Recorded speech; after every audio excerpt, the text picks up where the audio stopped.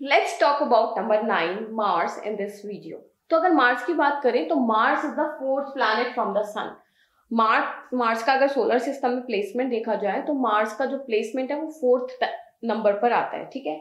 It's a very dusty cold desert world with a very thin atmosphere ठीक है? Mars is a very dynamic planet with season Mars पे बहुत season fluctuate होते हैं, बहुत ज़्यादा डायनेमिक होते हैं, कभी कुछ कभी कुछ तो सीज़न बहुत जल्दी बदलते रहते हैं मार्स पर। अब अब इसको हम कहाँ यूज़ करेंगे नंबर नाइन के कैरेक्टरिस्टिक में? कि नंबर नाइन वालों का मूड भी ऐसा ही होता है। बहुत जल्दी डायनामिक चेंजेस आते हैं।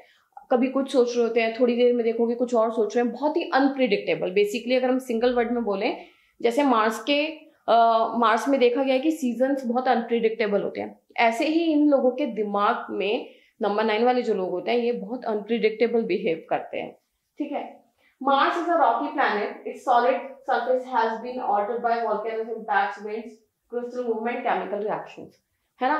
तो मार्स का हमने देखा रॉकी स्ट्रक्चर है। तो नंबर नाइन वाले जो होते हैं ना, जिनका नंबर नाइन पॉजिटिव होता है मार्स स्ट्रॉन्ग होता है। तो मार्स हमारा फ़िज़िकल बॉडी को रिप्रेजेंट करता है। है ना? तो ऐसे लोगों की बिल्ट बहुत स्ट्रांग होती है। रफ एंड टफ टाइप के होते हैं, क्योंकि रॉक्स जो होती हैं वो डेलिकेट सी नहीं होती, बहुत हार्ड टाइप की होती हैं। तो मार्स से जो गवर्न लोग होते हैं, उनका जो बॉडी स्ट्रक्चर होता है, बहुत ही ज़्यादा सॉलिड होता है। एकदम अच्छा बिल्ड होता है स्ट्रॉन्ग बिल्ड होता है। ठीक है? Mars is known as the red planet because iron mineral in the Martian soil oxidise etcetera etcetera अब हमें इससे क्या समझना है कि मार्स जिनका अच्छा होता है, उनके अंदर आयरन डेफिशिएंसी नहीं होती, जिनका अच्छा होता है। अगर किसी का नंबर नाइन है, फिर भी उसके अंदर आयरन डेफिशिएंसी है तो इसका मतलब उसका मार्स वीक है। तो नंबर नाइन वालों को देखना चाहिए आयरन डेफिशिएंसी है या नहीं है, उससे भी ये पता लगा सकते हैं कि उनके चार्ट में मंगल पॉजिटिव है या नेगेटिव है। ठीक है? तो इस तरीके से हम अपनी बॉडी में चेक कर सकते हैं।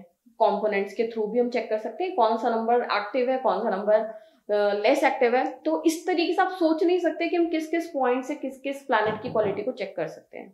राइट मार्स का जो हमने देखा एनवायरमेंट कैसा रहता है इट्स ड्राई कभी कोल्ड रहता है, देखो कभी ड्राई रहता है, कभी रॉकी रहता है, कभी बिटर कोल्ड रहता है। तो इसका मतलब क्या है कि इन लोगों का अगर आप बिहेवियर या नेचर देखोगे ना तो कभी कभी आपको बहुत रूड साउंड करेंगे। ऑन द अदर हैंड ये बहुत ह्यूमैनिटेरियन भी होते हैं। काफ़ी ड्राई फीलिंग्स भी रहती हैं एकदम रिलेशनशिप में अगर कोई बात करे तो। इसी तरीके से हम एस्ट्रोनॉमी को समझ के, किसी प्लानट की एनर्जीज को समझ के, हम किसी पर्सन की एनर्जी को समझ सकते हैं। तो मेरा पर्पज इस कोर्स को कराने का बेसिकली यही है कि आप किसी भी चीज़ को रट्टा ना लगाएँ, है ना? आप कॉन्सेप्ट को समझें ऐस कहाँ से ये चीज़ें आ रही हैं, कहाँ से हम रिजेंबल कर रहे हैं, कहाँ से हम इनको रिलेट कर रहे हैं तो एस्ट्रोनॉमी को समझ के हम किसी भी पर्टिकुलर ह्यूमन बींग को बहुत ईजिली डिकोड कर सकते हैं right Mars is one of the easiest planets to spot in the night sky अगर अर्थ से हम मार्स को स्पॉट करना चाहें तो बहुत ही ईजी है मार्स को स्पॉट करना। और ये कैसा दिखेगा आपको? आपको bright red light right red spot की तरह स्काई में विजिबल होगा। तो अब हम बात करते हैं कि नंबर नाइन वाले एक्चुअल लाइफ में कैसे होते हैं। मार्स को रिप्रेजेंट करता है ठीक है? Mars hmm. मतलब मंगल। अब हमें ना मंगल को हम रेड कलर से देखते हैं। अब आप जी की पिक्चर देखो है ना? हम्म। तो रेड कलर दिख रहा है आपको मोस्टली हाँ। ठीक है? अब हम इससे क्या देख सकते हैं कि हमारी बॉडी में रेड कलर क्या होता है? किसको रिप्रेजेंट ब्लड ब्लड को। हम्म। है ना? तो हमारी बॉडी हाँ. में हम ब्लड को मार्स से देखेंगे। ठीक है? जैसे जिन भी लोगों के एक्सीडेंट्स होते हैं सर्जरीज होती हैं है ना? बोलते हैं ब्लड लॉस हो रहा है तो जिनका भी नेगेटिव मार्स होता है मतलब मार्स बहुत ज़्यादा रिपीट हो रहा है तो उनको ब्लड से रिलेटेड प्रॉब्लम्स आती हैं। ओके। ठीक है उनके सर्जरीज ज़्यादा होती हैं। मेरा तो नाइन नंबर आता ही नहीं है but still I have blood issues तो फिर वो हम न्यूमरोलॉजी में क्या है कि न्यूमरोलॉजी में जो भी नंबर प्रेजेंट है हम उनको कंसीडर करेंगे। उनके ऊपर पे हम अच्छे से बात कर सकते हैं। जो नंबर प्रेजेंट नहीं है उनके ऊपर हम कुछ नहीं बोल सकते। अच्छा। तब हमें एस्ट्रोलॉजी देखना पड़ता है। अब इसमें भी जैसे कॉम्प्लीमेंट्री नंबर्स बताए थे ना मैंने आपको हाँ। तो कॉम्प्लीमेंट्री नंबर्स का फ़ायदा क्या है?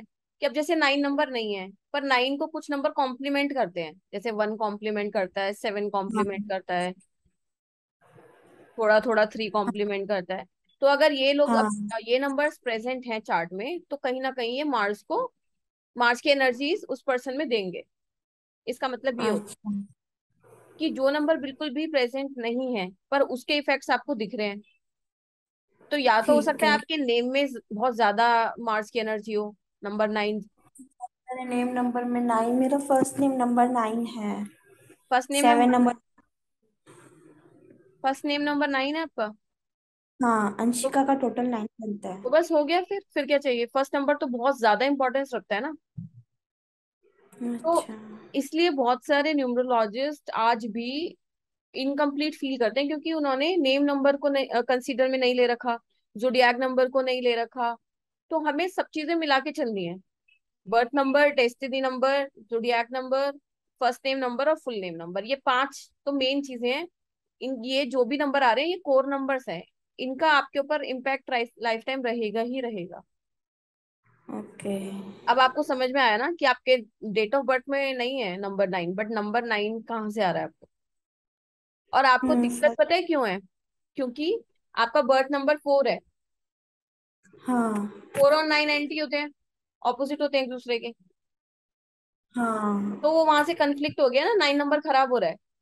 तो उसने अपने नेगेटिव अच्छा। इम्पैक्ट देने स्टार्ट कर दिए। ठीक है। ऐसे हमें चेक करना है। ठीक है? ठीक है। नाइन नंबर वाले लोगों का क्या होता है? नाइन नंबर किसको अब देखो हमने बोला कि ब्लड को रिप्रेजेंट करता है ब्लड लॉस को रिप्रेजेंट करता है ठीक है? हम्म। तो हमारे जो सोल्जर्स हैं जो हमारी प्रोटेक्शन कर रहे हैं वो नाइन नंबर नाइन से रिप्रेजेंट होते हैं क्योंकि उन्हें भी बॉर्डर पे खड़े होकर अपना फाइनली मतलब अल्टीमेटली क्या कर काम है उनका? खून ही गंवाना होता है ना उनको अपना? अपनी कंट्री हाँ के लिए ब्लड लॉस करा रहे हैं ना वो? हाँ। है ना? तो नंबर नाइन से हम सोल्जर्स को रिप्रेजेंट करते हैं। सोल्जर्स मतलब फॉलोअर्स कहीं से ऊपर से ऑर्डर आया और उनको वही काम करना है बस। कमांडर है ना? सही टर्म है इसके लिए कमांडर जैसे राजा का नंबर था नंबर वन सन राजा क्या करता है? हाँ। राजा कमांड देता है। बस उस कमांड को कौन लेता है? कमांडो लेता है। कमांडो मतलब नंबर नाइन ओके तो वन और नाइन हमने बोला कि फाइव स्टार कॉम्बिनेशन होता है कंप्लीट न्यूमरोलॉजी में। सबसे ज़्यादा स्ट्रॉन्ग कॉम्बिनेशन होता है वन और नाइन का। हाँ। ठीक है? अब जैसे फॉर एग्ज़ाम्पल मुकेश अंबानी का उनके फैमिली में उनके बेटे का दो तीन लोगों का है वन और नाइन का कॉम्बिनेशन तो क्यों है ये इतना परफेक्ट कॉम्बिनेशन क्योंकि वन का काम है ऑर्डर देना और नाइन का काम है ऑर्डर लेना। ओके मैम मैम एक चीज़ और है। अ, जैसे ये नाइन नंबर है है ना? तो फोर और नाइन आपने बोला अभी एंटी होता है राइट हम्म। बट मैंने ऐसा देखा है कि मेरे जो नाइन नंबर लोग हैं ना उनके साथ ज़्यादा बनता है। अब पता है इसका रीजन क्या है Anshika? Opposite always attracts but कभी नेगेटिव नहीं हुआ उनके साथ मेरा आज तक। इसलिए नहीं हुआ सब कि अभी आपकी शादी नहीं हुई। जिस दिन आप नाइन वाले से शादी करोगे ना एक महीने बाद ही आपको पता लग जाएगा क्या होता है।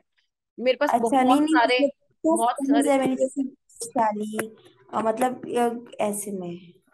बट ये लोग बहुत सपोर्टिव है। नहीं नाइन वाले अभी हम पढ़ेंगे ना देखो इसमें सब कुछ लिखा हुआ है। आपको समझ में आ जाएगा। बहुत ज़्यादा ह्यूमैनिटेरियन होते हैं। सोसाइटी के लिए बहुत हाँ। आगे से बढ़ के काम करते हैं क्योंकि अब आप सोल्जर को कंसीडर करो। सोल्जर से ज़्यादा ह्यूमैनिटेरियन कौन हो सकता है? पूरी देश की रक्षा करने के लिए खुद की जान को लगा देते हैं। हाँ। तो ये भी नाइन वाले ऐसे लोग होते हैं इतने हेल्पफुल होते हैं अपनी परवाह ना करते हुए दूसरों के भले में लग जाते हैं। और इनका हाँ। जो तरीका होता है थोड़ा वो क्या होता है एग्रेशन वाला होता है। अब सोल्जर सॉफ्ट होंगे तो कुछ कर ही नहीं पाएँगे बॉर्डर पे। उनको हमेशा हाँ। एग्रेशन में रहना पड़ता है। है ना? बाय डिफ़ॉल्ट एंगर होता है उनके अंदर। उनके बोलते हैं ना खून हाँ गर्म है इनका। तो इनका खून गर्म हाँ, होता है नाइन वालों का। अच्छा। ठीक है? इनका अनप्रिडिक्टेबल बिहेवियर रहता है। अभी कुछ और कल को कुछ और। मन करेगा हाँ। तो कोई काम करेंगे। ठीक है रफ एंड टफ पर्सनालिटी होती है। डेलिकेट से नहीं होते क्योंकि सोल्जर्स रफ एंड टफ होते हैं। सारे ट्रेड्स आप वहीं से ले सकते हो। बहुत ही ज़्यादा रफ एंड टफ होते हैं। हर सिचुएशन में ढाल लेते हैं अपने आप को। हाँ। ईगो इश्यूज़ होते ही हैं इनमें क्योंकि ये फालतू किसी की सुनते नहीं है। हाँ। है ना? तो बहुत ज़्यादा ब्रेव होते हैं करेजियस होते हैं और डिटर्मिंड होते हैं। अब सोल्जर को हमने बोल दिया कि तुझे इसी बॉर्डर पे खड़े रहना छह महीने तक, साल भर तक, पाँच साल तक तो वो डिटर्मिंड रहेगा। उसको वो ये नहीं है कि यहाँ पे अब सिलाचिन में माइनस फोर्टी टेम्परेचर हो गया तो मैं यहाँ नहीं रह सकता, मुझे तो खांसी जुकाम से प्रॉब्लम है, मुझे जाना पड़ेगा या पानी मुझे सूट नहीं कर रहा। ये सब चीज़ें नहीं होती उनके साथ। तो सिमिलरली नाइन वाले लोगों के साथ ये सब दिक्कतें नहीं होती। रफ एंड टफ होते हैं हाईली डिटर्मिन्ड होते हैं। Warrior just like a warrior. ठीक है? और हाँ। सबसे ज़्यादा ह्यूमैनिटेरियन होते हैं ये नंबर सेल्फलेसली दूसरों के लिए काम करना पसंद करते हैं। ठीक है। ठीक है? आ, राजा का काम क्या होता है? ऑर्डर देना। और सेनापति का काम क्या होता है? ऑर्डर लेना। तो नंबर नाइन वाले हाँ। भी ना अगर बहुत ज़्यादा नंबर नाइन रिपीट हो रहा है किसी के चार्ट में तो वो फॉलोअर टेंडेंसी हो जाती है फिर वो अपनी बुद्धि लगाना बंद कर देते हैं। जैसे चार पाँच बार नाइन आ जाए ना चार्ट में फिर वो लोग ना दूसरों की कमांड्स पे चलते हैं। ऊपर से ऑर्डर आएगा तब हम वो काम करेंगे। हाँ ये तो है। है ना? तो नंबर नाइन में ये चीज़ें होती हैं। और नंबर नाइन मैंने ऊपर इरादा लिख रखा है स्पेशली। तो हमारी लाइफ में जो भी हम बोलते हैं ना अब मैंने इरादा बना लिया अपना अब इसे कोई नहीं बदल सकता। तो ये नंबर नाइन हाँ। रिप्रेजेंट करता है। अगर किसी को इरादा बनाने में दिक्कत आ रही है डिसीज़न मेकिंग में दिक्कत आ रही है तो इसका मतलब नंबर नाइन में दिक्कत है। है ना? ओके। और नंबर नाइन बहुत ज़्यादा इम्पल्सिव होता है। इम्पल्सिव मतलब तुरंत एक्शन लेने वाला। सडन हाँ। चाहे वो गलत हो चाहे वो सही हो तुरंत एक्शन ले लेते हैं गुस्से में आके या जल्दीबाजी में। हाँ। तो इनको अपने उस पे कंट्रोल रखना चाहिए सबसे ज़्यादा एंगर पे। हम्म। अब जैसे हमने पढ़ा था कि वन और थ्री और नाइन तीनों एक ही उस फैमिली के हैं मतलब फ्रेंडली नंबर्स हैं तीनों बहुत ज़्यादा। थ्री और नाइन है ना? तो जैसे वन का ट्रेट है कि उसको हमेशा हेड रहना पसंद होता है हर जगह। ऐसे ही नाइन को भी head of the department head of the company top position पे रहना पसंद होता है। ठीक है? ठीक।